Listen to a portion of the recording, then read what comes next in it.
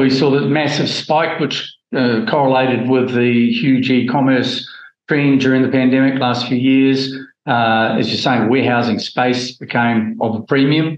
Uh, what what are you seeing now with the trends and developments taking place in the market now? What, what what's the variation?